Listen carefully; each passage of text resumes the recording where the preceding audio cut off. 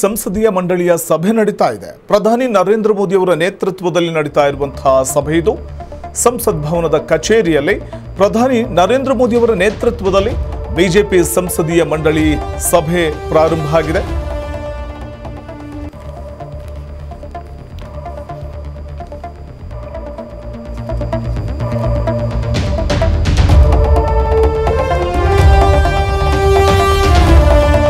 ಪ್ರಧಾನಿ ಮೋದಿಯವರ ನೇತೃತ್ವದಲ್ಲಿ ನಡೀತಾ ಇರುವಂತಹ ಮೀಟಿಂಗ್ ಇದು.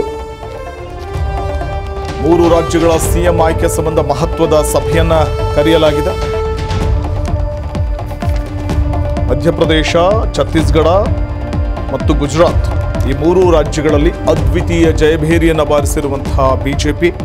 ಈ ಮೂರು ರಾಜ್ಯಗಳಲ್ಲಿ ಸಿಎಂ ಆಯ್ಕೆ ವಿಚಾರಕ್ಕೆ ಸಂಬಂಧಪಟ್ಟಂತೆ ಯಾರನ್ನು ಆಯ್ಕೆ ಮಾಡಬೇಕು ಅನ್ನೋದರ ಕುರಿತಾಗಿ ಬಿಜೆಪಿ ಸಂಸದೀಯ ಮಂಡಳಿ ಸಭೆಯಲ್ಲಿ ಚರ್ಚೆ ಆಗ್ತಾ ಇದೆ. ಇನ್ನು ಪ್ರಧಾನಿ ಮೋದಿಗೆ ಬಿಜೆಪಿಯ ಸಂಸದರು ಅಭಿನಂದಿಸಿದ್ದಾರೆ. ಮೂರು ರಾಜ್ಯಗಳ ಗೆಲುವಿನ ಕುರಿತು. ಮೂರು ರಾಜ್ಯಗಳಿಗೂ ಹೊಸ ಸಿಎಂ ನೇಮಕಕ್ಕೆ ಬಿಜೆಪಿ ಚಿಂತನೆಯನ್ನು ನಡೆಸ್ತಾ ಇದೆ ಅನ್ನುವಂಥ ಮಾತು ಕೇಳಿ ಬರ್ತಾ ಇದೆ. ಲೋಕಸಭಾ ಚುನಾವಣೆಯನ್ನು ಗಮನದಲ್ಲಿಟ್ಟುಕೊಂಡು ಇಂಥ ಒಂದು ನಿರ್ಧಾರವನ್ನು ತೆಗೆದುಕೊಂಡರೂ ಅಚ್ಚರಿ ಪಡಬೇಕಾಗಿಲ್ಲ.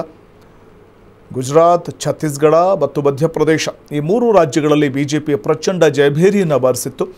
ಹಾಗಾಗಿ ಇವತ್ತಿನ ಬಿಜೆಪಿ ಸಂಸದೀಯ ಮಂಡಳಿ ಸಭೆಯಲ್ಲಿ ಮೂರು ರಾಜ್ಯಗಳ ಸಿ ಎಂ ಆಯ್ಕೆ ವಿಚಾರ ಚರ್ಚೆಗೆ ಬರ್ತಾ ಇರುವಂಥದ್ದು. ಇದೇ ವೇಳೆ ಪ್ರಧಾನಿ ನರೇಂದ್ರ ಮೋದಿ ಜೆ ಪಿಯ ಸಂಸದರೆಲ್ಲರೂ ಕೂಡ ಅಭಿನಂದಿಸ್ತಾರೆ. ಮತ್ತು ಮುಂಬರುವಂತಹ ಲೋಕಸಭಾ ಚುನಾವಣೆಯನ್ನು ಗಮನದಲ್ಲಿಟ್ಟುಕೊಂಡು ಮೂರು ರಾಜ್ಯಗಳಿಗೂ ಹೊಸ ಸಿ ಎಂ ನೇಮಕಕ್ಕೆ ಬಿಜೆಪಿ ಚಿಂತನೆಯನ್ನು ನಡೆಸಿದೆ.